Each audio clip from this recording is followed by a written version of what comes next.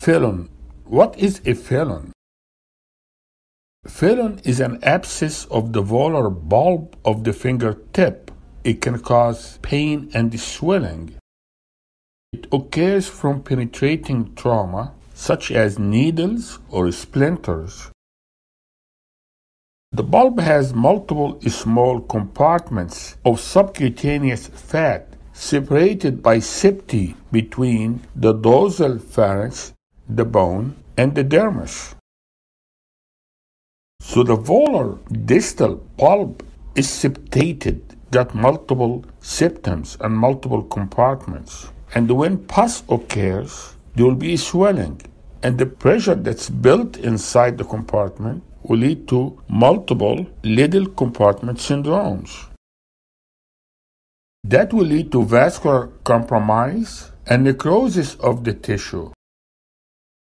It also may lead to osteomyelitis of the bone or flexor tenosynovitis. Staph is the most common organism.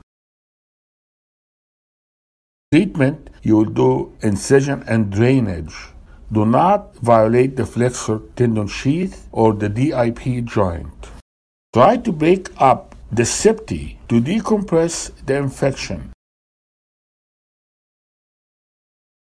If there is no foreign body in the finger, you will do the mid-axial incision or the J incision and you're going to leave the wound open.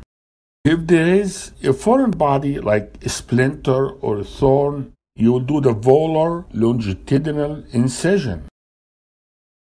Try to avoid the fish mouth incision. It will lead to unstable finger pulp. Try to avoid the double longitudinal incision because it may lead to injury of the neurovascular bundle. Thank you very much. I hope that was helpful.